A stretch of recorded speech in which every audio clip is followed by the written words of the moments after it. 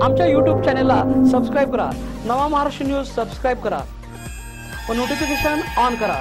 Notification on केल्याने आमचे update आपल्यापर्यंत सतत पोहोचत राहील.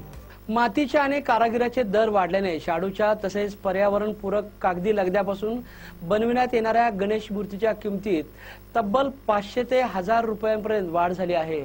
त्यामुळे गणेशोत्सव थाटामाटात साजरा करणाऱ्या गणेश भक्तांना खिशाला मागील वर्षीपेक्षा यंदाच्या गणेशोत्सवात चांगलाच फटका बसणार आहे.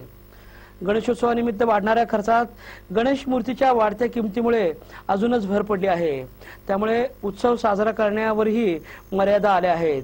यंदा गणेश मूर्ती जीएसटी मधून वगळल्या असल्या तरी मातीच्या गोणीच्या किमतीत जास्त वाढ झाली आहे. गणेश मूर्ती बनवण्यासाठी लागणाऱ्या काथ्याचा एक गुच्छ मागील वर्षी नऊशे रुपये होता. त्याची किंमत यावर्षी चौदाशे रुपयांवर गेली आहे.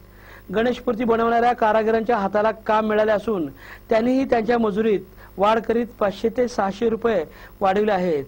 तसेच गणेश मूर्तीवरील सजावट रंगाचे ब्रश मूर्ती घासण्याच्या जाळ्या रंग व काथ्यांच्या किमतीमध्ये कमालीची वाढ झाल्यामुळे गणेश मूर्ती यंदा महागल्या आहेत.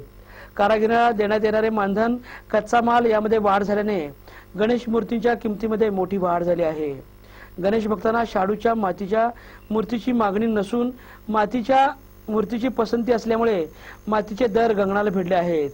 त्यामुळे गणेश मूर्ती बनवण्यासाठी जास्त प्रमाणात खर्च होत असल्याने मूर्तीचे भाव यंदा वाढले आहेत.